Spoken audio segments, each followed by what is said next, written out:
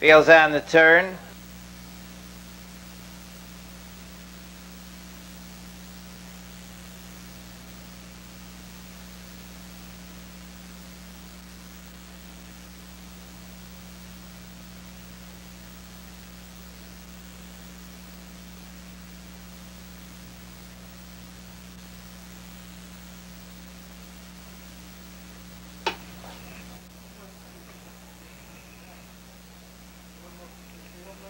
They're off. It's Friskie Dixie for the early lead. Coming away, Amorous Well Manor.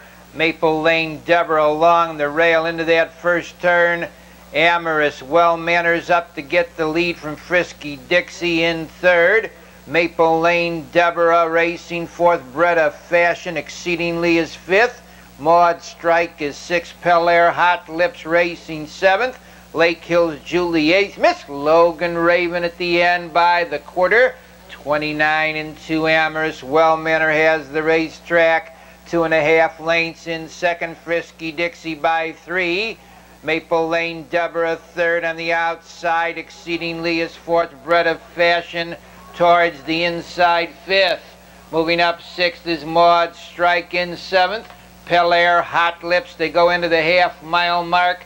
Amorous Well Manners had the best of it, still does. A length.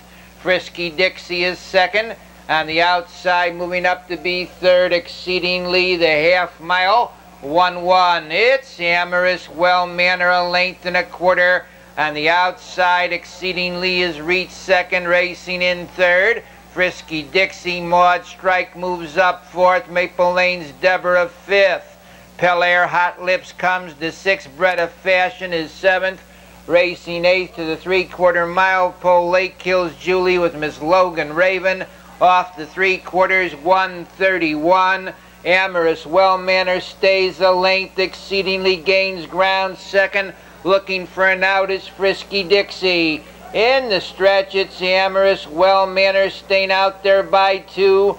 Friskie Dixie racing second in third through the lane comes exceedingly amorous well-mannered. friskie dixie moves through along the inside that's friskie dixie